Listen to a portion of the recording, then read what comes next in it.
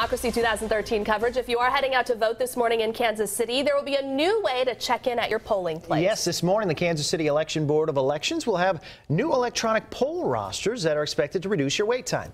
Jenna Hanchard is live in Brookside at a local polling place with more on this. Jenna?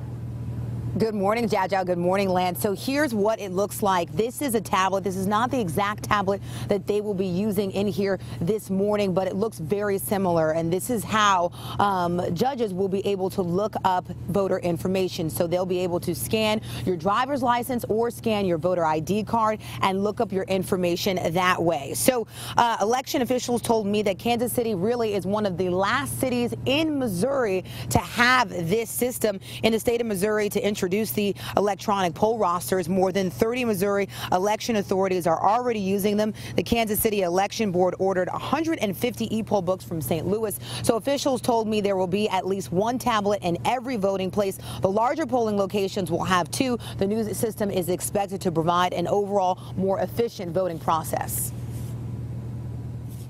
These are because they're quicker. Uh, you don't have to have lines instead of having an A through M and an L through Z line or whatever. You actually just have any line that is the shortest. So a voter can come in, they uh, they present a, any ID, any form of identification they'd like to uh, give us, and then we'll look them up and get them processed in about half to a third of the time. So what happens when one of these stops working? We always know that electronics can stop working at any point in time. So they do have those books available, those paper books that you do have to look up. They have those as a backup if these start working. We'll have much more about these tablet systems and how you'll be able to use them when you head to your polling place coming up in the next hour. Reporting live here in Brookside, Jenna Hanchard, 41 Action News.